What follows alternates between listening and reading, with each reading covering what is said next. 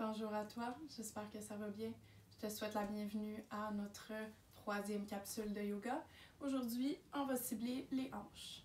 On va commencer. On peut se prendre un bloc, un coussin. On veut venir élever nos hanches. On veut créer une ouverture ici. On peut croiser les jambes, on peut les apporter en demi-lotus. Le dos bien droit, nos épaules étendues. Va apporter nos mains à nos cuisses ou à nos genoux, paume de main vers le haut. Va prendre un moment ici pour fermer les yeux. On va prendre le temps d'arriver sur notre bloc, sur notre tapis, dans le moment présent. Donc, peu importe ce qui se passe actuellement à l'extérieur, va tout laisser en dehors de la pièce. Va demeurer dans le moment présent tout au long de la capsule.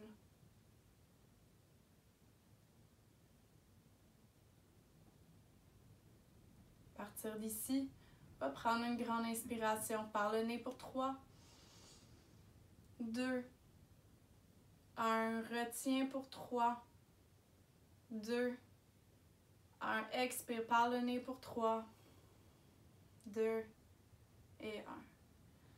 On poursuit, on inspire pour 3, 2, 1, on retient pour 3, 2, 1, expire pour 3, 2 et 1. On poursuit, on inspire pour 3, Retiens 3. Expire 3.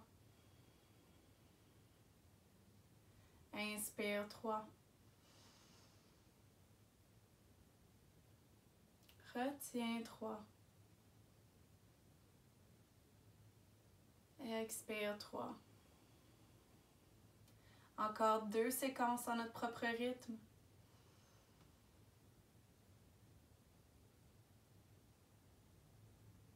Garde le focus à l'intérieur de soi. On observe la circulation de l'air.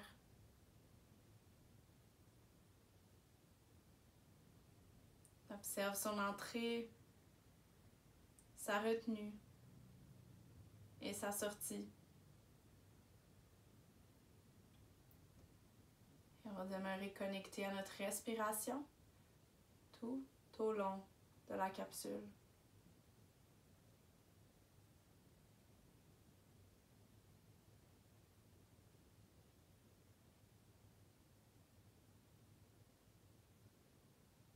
Et on retourne à notre respiration naturelle une fois que c'est complété. On peut prendre un petit moment pour observer ce qu'on respire différemment maintenant. Pendant ce temps, je vais nous mettre de la musique.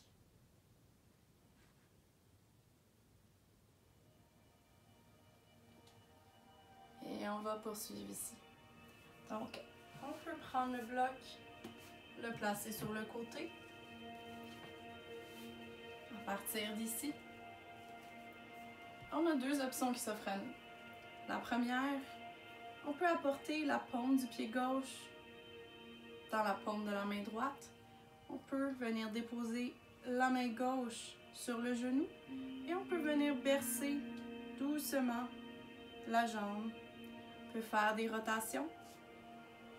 Ou on peut apporter la paume du pied à l'intérieur de notre coude droit. Et également faire des rotations ici. Puis aller avec notre propre flot. On explore, on essaie de délousser la hanche gauche. On observe, est-ce qu'il y a des zones plus tendues? Demeure non seulement connecté à la respiration, mais avec les sensations de notre corps. On peut y aller avec des plus gros mouvements.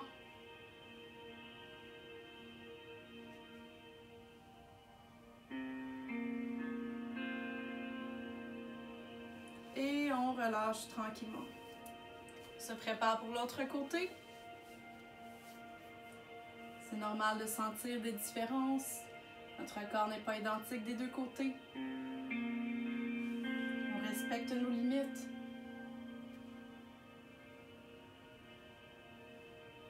C'est comme si on berçait un petit bébé. On y va à notre propre rythme.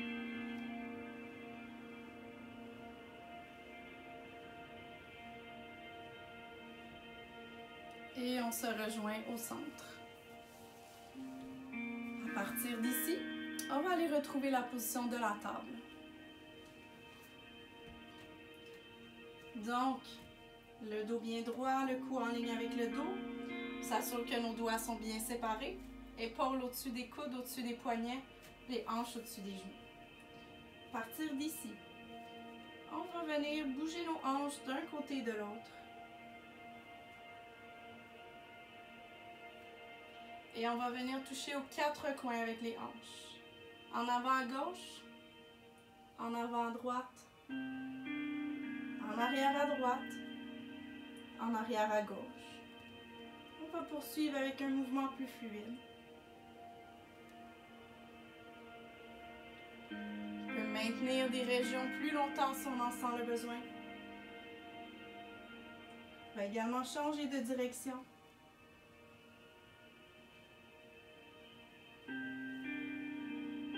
On explore, on observe. Est-ce que nos hanches sont généralement tendues? Est-ce que c'est un manque d'activité physique qui crée cela?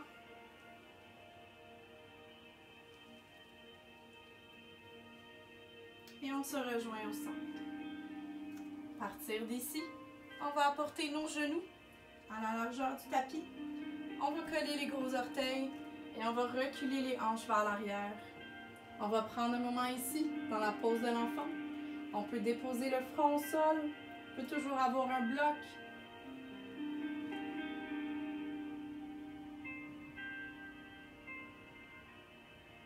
On va donner la chance à nos hanches de se délousser encore un peu plus.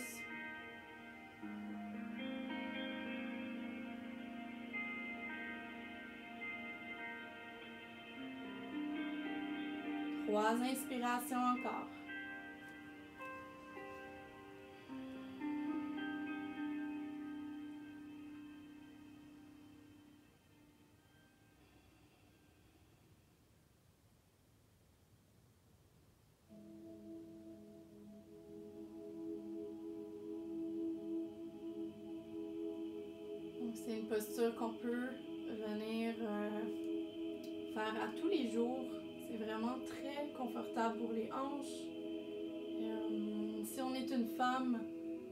Simplement noter qu'on a tendance à avoir euh, beaucoup de tension dans la région des hanches en lien avec les périodes, la grossesse, l'accouchement, tout ça. Donc euh, c'est très bénéfique euh, de travailler les hanches. La prochaine expiration va commencer à remonter. On va rapprocher nos genoux ensemble. Et on peut venir bouger les hanches d'un côté et de l'autre, contrebalancer la pose de l'enfant avec des mouvements qu'on aurait besoin. Et on se rejoint au centre. Je vais simplement me tourner de côté. On est toujours dans la position de la table.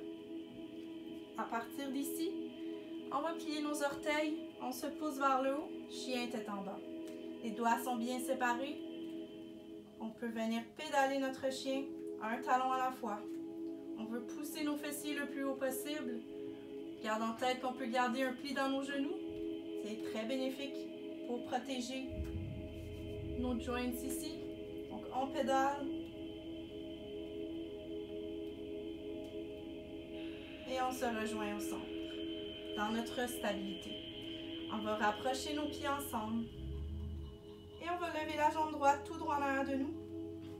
À partir d'ici, on va plier le genou et on va ouvrir sur le côté.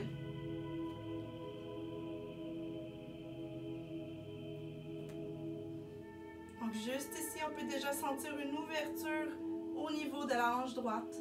Si c'est une posture qui est trop demandante pour nous, on peut toujours la faire à partir de la table. Donc le genou gauche serait au sol On maintient ici encore deux inspirations.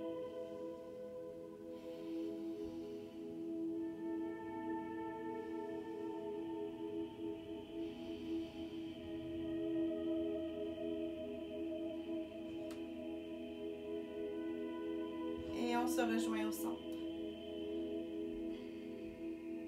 On peut venir pédaler ici. Se prépare pour l'autre côté. Rapproche les pieds ensemble. Inspire, lève la jambe gauche. Plie le genou et ouvre sur le côté. Ouvre la hanche gauche. Donc c'est comme si le pied gauche allait chercher la hanche droite. Une ouverture qui est très bénéfique ici.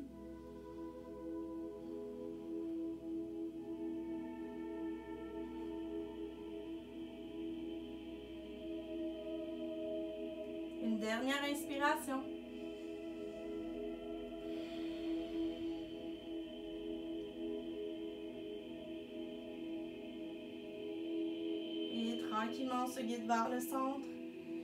Et de retour au chien tête en bas. Encore une fois, on peut pédaler, bouger nos hanches d'un côté et de l'autre. Et on se rejoint au centre. À partir d'ici, on va débuter euh, une transition vers la pose du pigeon. Donc, rapproche tes pieds ensemble. Inspire, lève la jambe droite.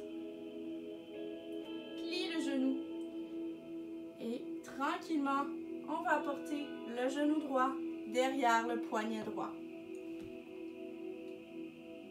On va déposer le genou gauche au sol, recule la jambe vers l'arrière, déplie les orteils derrière. Donc, ici, l'idéal, dans un monde idéal plutôt, euh, la jambe droite, elle forme un angle de 90 degrés. C'est sûr que euh, la majorité euh, des personnes, ben, on va se garder un plus petit angle que ça.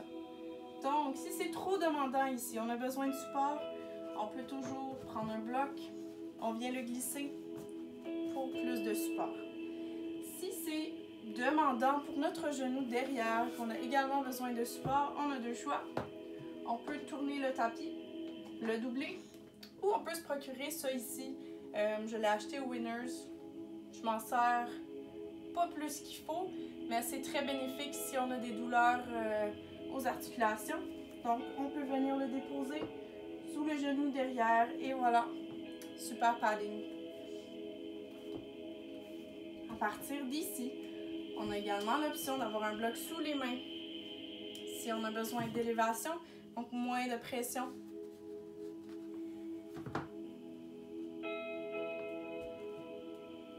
Et à partir d'ici, on va aller vers le pigeon qui se repose. Donc, on va tranquillement descendre les avant-bras au sol ou sur le bloc et on va relâcher la tête.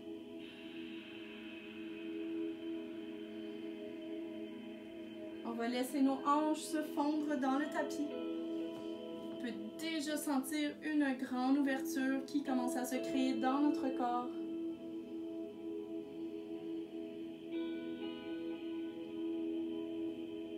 Donc c'est normal de ressentir des sensations d'inconfort tant que ce n'est pas une douleur qui est aiguë. Si c'est une douleur qui est aiguë, on ressort tranquillement de la posture pour ne pas se blesser.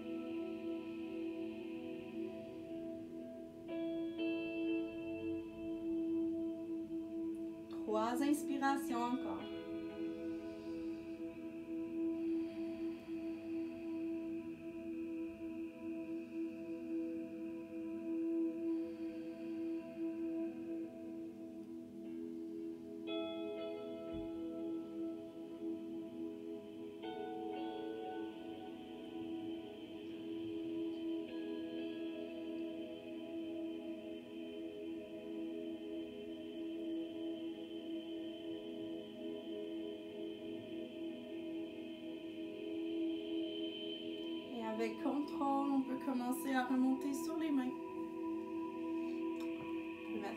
Sur le côté. Partir d'ici, on peut plier nos orteils qui sont derrière. Et on se pousse tranquillement jusqu'au chien tête en bas. On peut sentir que la jambe droite est un peu engourdie. On va pédaler notre chien ici pour relâcher des quelconques tensions qu'on aurait pu avoir accumulées avec cette posture. On pédale. Et on se rejoint au centre. Rapproche les pieds ensemble. Lève la jambe gauche. Et plie le genou. genou gauche derrière le poignet gauche. On prépare la jambe. On recule. On peut toujours activer notre talon ici. Nos orteils, ça va créer une plus grande ouverture. On peut venir faire nos derniers ajustements avec nos blocs.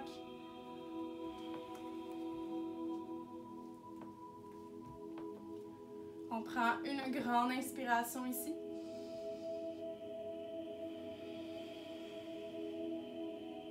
Et à la prochaine, on va tranquillement descendre vers le bas.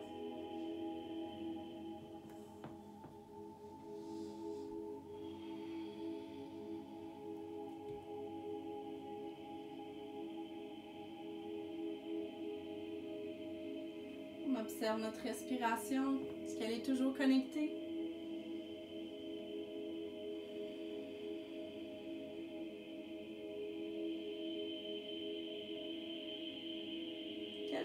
De ce côté-ci? Est-ce que c'est plus facile? Est-ce que c'est plus demandant?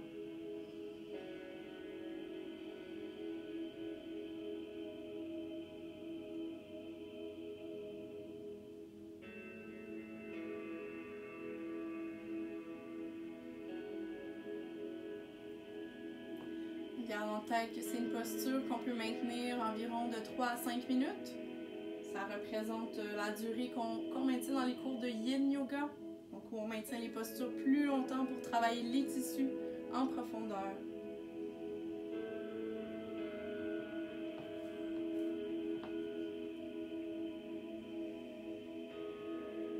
Encore deux inspirations ici.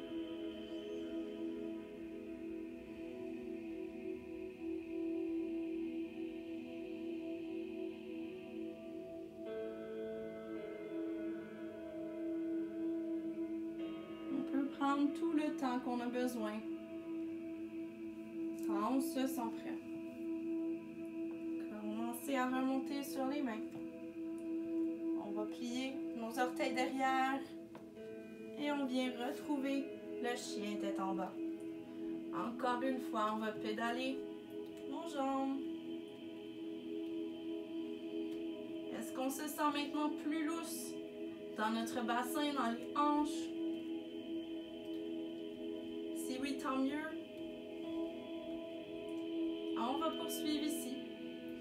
Avec la posture du lézard. Donc, on va rapprocher pour commencer la main droite de la main gauche. On inspire, on lève la jambe droite tout droit en de nous. Et on vient faire un grand pas en avant. Genou gauche au sol. On va reculer la jambe gauche vers l'arrière. Donc, juste à partir d'ici, on a l'option d'avoir un bloc sous les mains. Choisir de rester ici si on veut aller plus bas. On peut, pour protéger notre hanche, on peut commencer à ouvrir sur le côté. On essaie de garder la pompe du pied au sol. C'est correct si elle remonte, si elle décolle un petit peu du tapis. Donc, on crée une première ouverture dans la hanche. Donc, si on va aller plus bas, on y va avec le bloc sous les avant-bras, sous les avant-bras directement au sol. Donc c'est une posture qui est très très très puissante pour l'ouverture dans les hanches. Encore une fois, on peut la maintenir euh, plus longtemps. Tant qu'on reste à l'écoute de notre corps, de ce qu'il a à nous dire.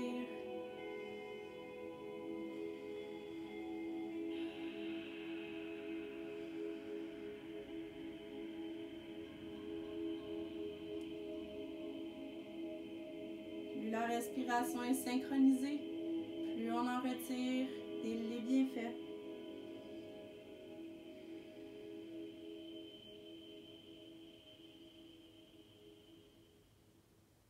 Trois inspirations. Encore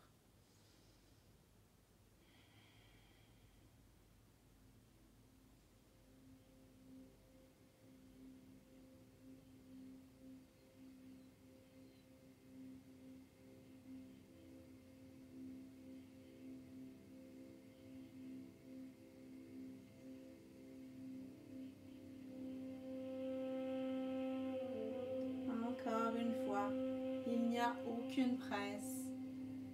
Quand on se sent prêt, on peut commencer à remonter sur les mains. Plie les orteils et on se guide avec contrôle jusqu'au chien tête en bas.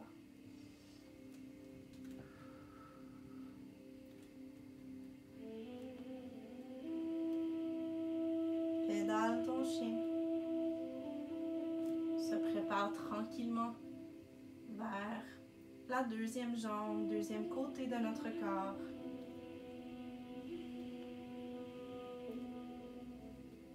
Se rejoint au centre.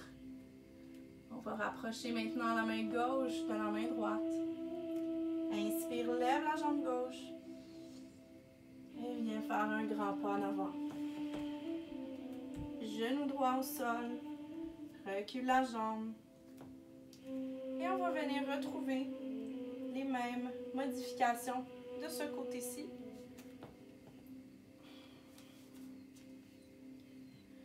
Quand on est prêt,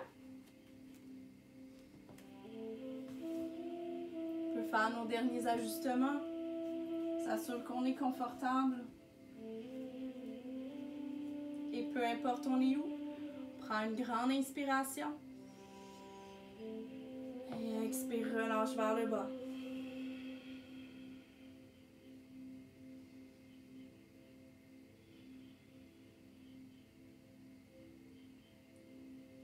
Relâche les muscles.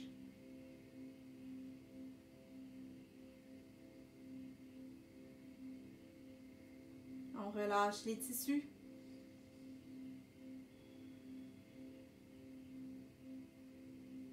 Et on relâche les pensées qui pourraient être présentes.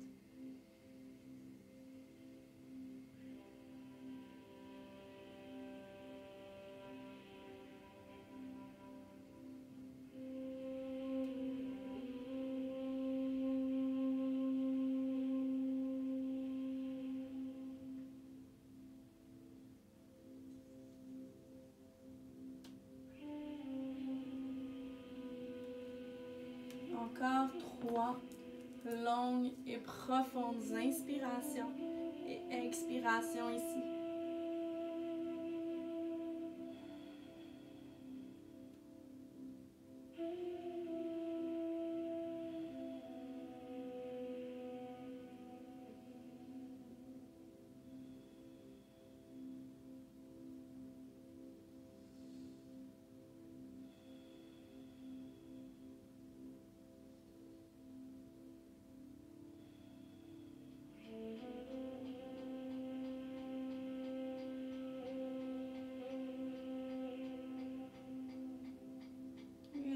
Tranquillement, on peut commencer à remonter sur les mains.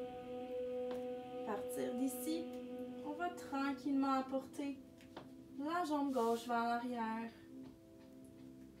Viens retrouver la pose de la table. On peut venir bouger les hanches d'un côté et de l'autre. Wouhou! Ça vient de craquer. Donc c'est normal. Observe comment réagit notre corps.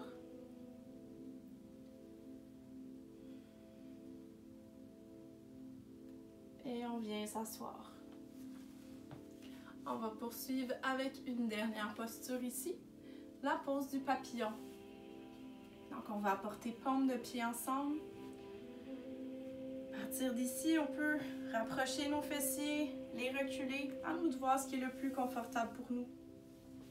Premièrement, on va juste prendre un moment ici pour ouvrir nos orteils sur les côtés. Donc on peut déjà observer l'ouverture dans nos hanches qui vient de se créer ici. S'assure de garder le dos bien droit, nos épaules étendues. Prends une grande inspiration ici. Et on expire, on relâche. Encore deux longues inspirations.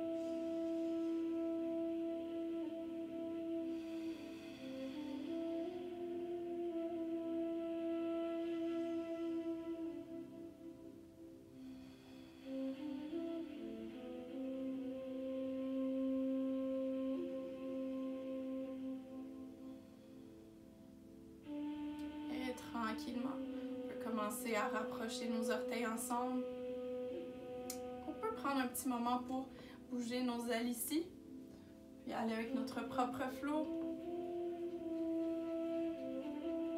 Faire les mouvements qu'on aurait besoin. Et on va poursuivre avec le papillon qui se repose vers le bas. Donc, ici, on peut garder nos orteils ensemble. On peut venir interlacer nos doigts alentour de nos orteils. Donc, on prend une grande inspiration. Allonge la colonne. expire. Relâche vers le bas. On peut jouer un petit peu avec la distance. Voir qu'est-ce qui est le plus confortable pour nous. On prend une autre grande inspiration. Et expire, relâche. On va maintenir ici pour 5 longues inspirations. On peut relâcher la tête, le cou.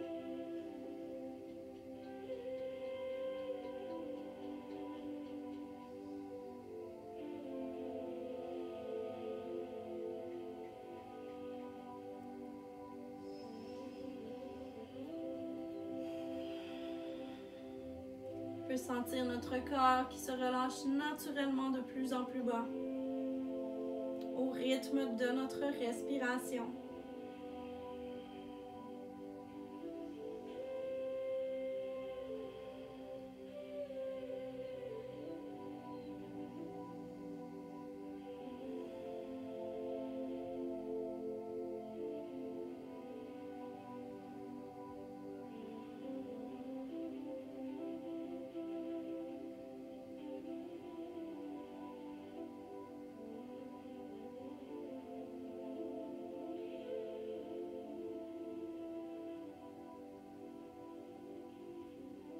Plus lentement possible, on va commencer à nous dérouler une vertèbre à la fois.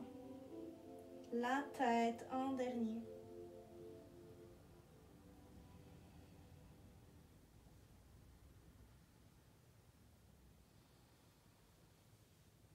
Arrivé au sommet, on peut encore une fois bouger nos hanches, nos ailes de papillon.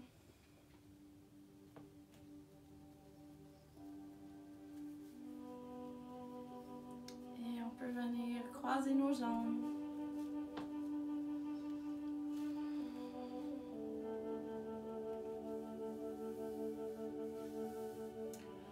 On peut prendre un moment ici pour observer comment on se sent.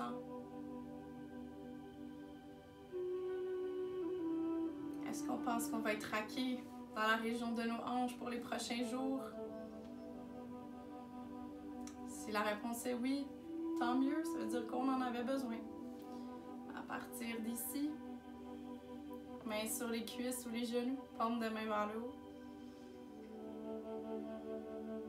On inspire, on lève les bras jusqu'en haut.